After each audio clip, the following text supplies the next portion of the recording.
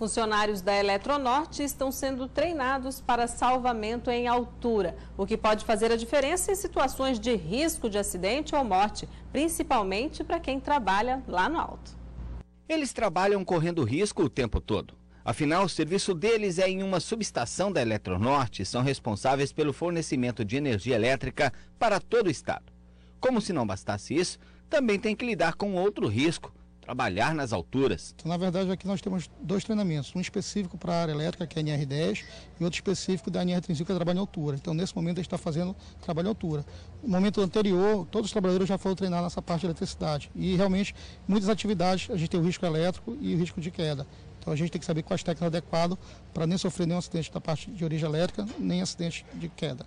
O objetivo é capacitar 16 funcionários de subestações da empresa que trabalham na capital e em outras unidades do interior. O treinamento ele traz conhecimentos novos para trabalhadores que vão saber usar todos os equipamentos de segurança, é, limitação, uso, carga máxima é aplicável, como fazer a inspeção do equipamento e depois saber as práticas de como retirar o colega na hipótese dele se acidentar. Então, o acidente, algumas vezes o tempo é fundamental. Se a pessoa não saber como agir, aquele acidentado pode ter umas sequelas graves.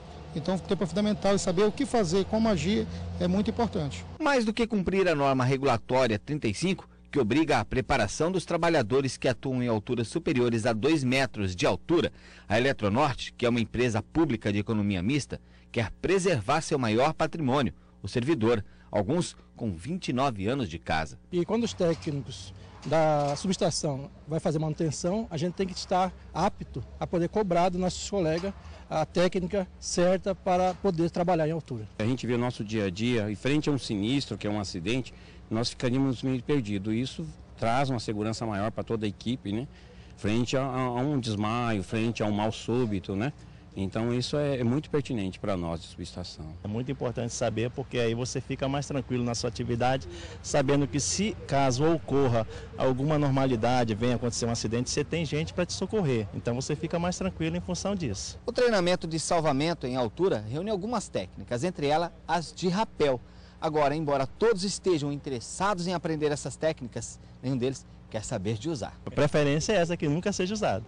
Espero que não seja preciso.